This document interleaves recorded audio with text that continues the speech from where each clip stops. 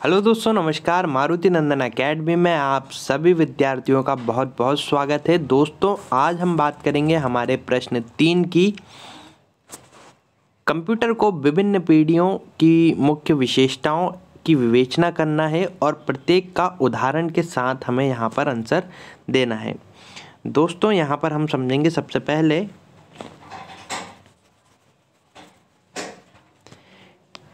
कि ये प्रश्न जो है दिसंबर 2002, 2005 और 2005 और 12 तक लगातार आया हुआ है। यानी यह प्रश्न हमारे लिए इम्पोर्टेंट प्रश्न है। देखिए विवेचना करना है तो कंप्यूटर की सबसे पहले हम बात कर लेते हैं। कंप्यूटर के विकास को समझने के लिए इन्हें पाँच पीढ़ियों में बांटा गया है। दोस्तों आप सभी को याद रखना है कंप्यूटर की पीढ़ियाँ पाँच प्रकार की हैं। इनमें हम कंप्यूटरों को तकनीक में हुई प्रगति जानकारी प्राप्त करने में मदद मिल जाती है। प्रत्येक कंप्यूटर को मूलभूत सिद्धांत व उनके किसी भाग के नवीन रूप में विकसित किया गया है। एक नई पीढ़ी की शुरुआत होती है। कंप्यूटर की पीढ़ियों को उनके काल यानी पीरियड तथा प्रयुक्त तकनीकों में चार्ट में दर्शाया गया है। आइए दोस्तों, चार्ट समझ लेते हैं। सबसे पहली पीढ़ी के कंप्यूटर जो आए हैं, उनमें सन 1946 से छप्पन तक का समय काल दिया हुआ है और पहली तकनीक इसमें वैक्यूम ट्यूब का प्रयोग किया गया है। दूसरी पीढ़ी में 1956 से लेकर 1964 तक रही है, जिसमें ट्रांजिस्टरों का प्रयोग किया गया है। तीसरी पीढ़ी सन 1964 से 1970 तक रही है, जिसमें इंटीग्रेटेड चिप यानी आईसी चिप का प्रयोग किया गया है।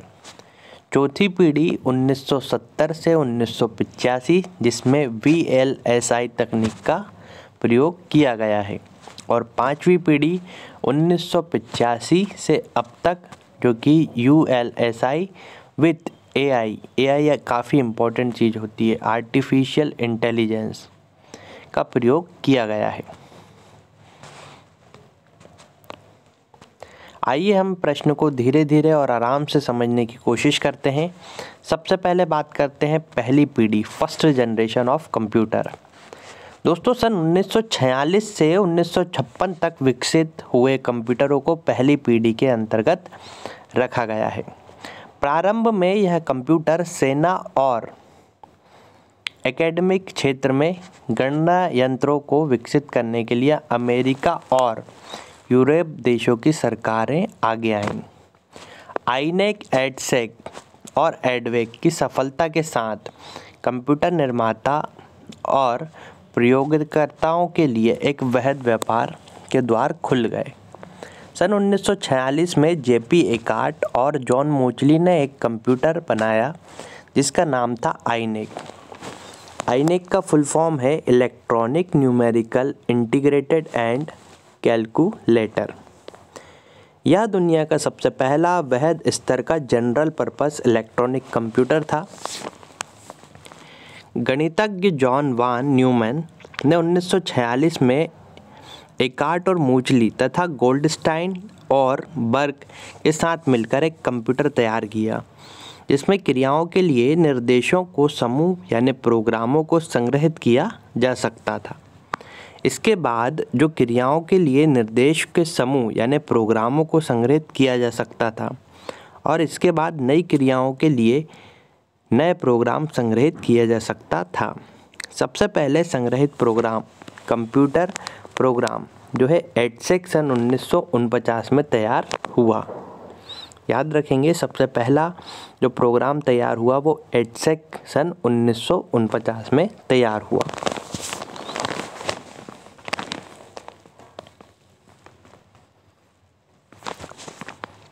यहाँ पर अब हम बात करेंगे प्रथम पीढ़ी के कुछ गुण। प्रथम पीढ़ी के मुख्य गुण जैसे निम्नलिखित इस प्रकार हैं। प्रथम पीढ़ी के कंप्यूटर वैक्यूम ट्यूब का प्रयोग किया जाता था। ये वैक्यूम ट्यूब आकार में बहुत ही बड़ी होती थी, इसलिए प्रथम पीढ़ी के कंप्यूटर का आकार बड़ा हुआ करता था। ये लगातार विद्युत का संवहन गर्म होने के कारण जल्दी खराब हो जाते थे। पहली पीढ़ी के कंप्यूटरों को एयर कंडीशन में रखा जाता था। दूसरा है कंप्यूटर सिस्टम में इनपुट तथा आउटपुट के लिए पंच कार्ड का प्रयोग किया जाता था। याद रखना है आपको, पहली पीढ़ी में जो कंप्यूटर थे, उनमें इनपुट और आउटपुट के लिए पंच कार्ड का प्रयोग किया जाता था। इन पंच कार्डों की प्रोसेसिंग स्पीड बहुत कम होती थी।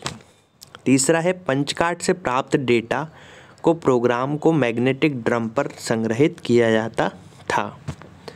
चौथा प्रथम पीढ़ी के कंप्यूटरों को दो भाषाओं का प्रयोग प्रोग्राम लिखने में किया जाता था। ये भाषाएँ पहली होती थी मशीनी भाषा और दूसरी होती थी हमारी असेंबली भाषा। पांचवा और अंतिम, प्रथम पीढ़ी के कंप्यूटरों का प्रयोग कमर्शियल कंप्यूटिंग, जैसे वेतन पत्र बनाना, पेरोल, बिल्डिंग तथा अकाउंटिंग के लिए ही किया जाता था, क्योंकि उस समय कंप्यूटर बहुत ही महँगे हुआ करते थे। दोस्तों, अगर यह वीडियो पसंद आया हो तो अपने दोस्तों के साथ शेयर करें लाइक का लाइक करें हमारे यूट्यूब चैनल को और सब्सक्राइब कर लें। अगले प्रश्न की अगर हम बात करें तो हम लोग पढ़ेंगे द्वितीय पीढ़ी, जो कि हमारी नेक्स्ट वीडियो आएगी, उसमें आप लोग देख सकते हैं। धन्यवाद।